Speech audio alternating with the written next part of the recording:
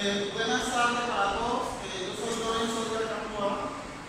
Soy estudiante de licenciatura de Pedagogía Infantil de la Corporación Universitaria de. En este momento un semestre. Y la temática que estamos abordando hoy tiene que ver con la organización pedagógica en el área número 2. Este momento que estamos eh, compartiendo tiene que ver con tres componentes principales.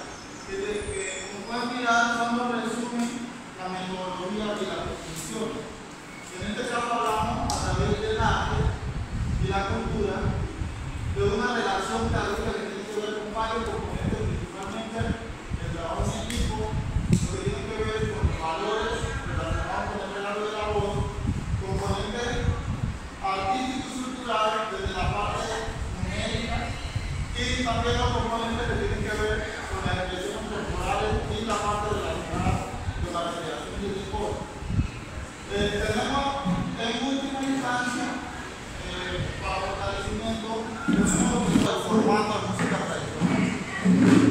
También tenemos una parte muy fundamental que es la motivación rítmica y artística, que es que trabajamos específicamente con cada uno de los estudiantes. Eh, como suelen mirar, desde la matemática hacemos un orden pedagógico muy visual y sencillo que lo hacen cada uno de los niños eh, como pueden mirar, algo que todos conocen como la función Esto va vinculado también a la formación real.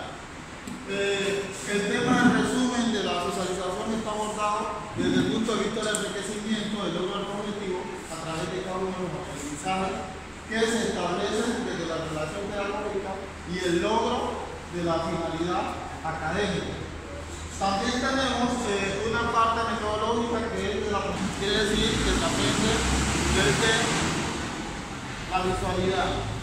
Este ejercicio también tiene un componente eh, como un ejemplo de metodología teórica práctica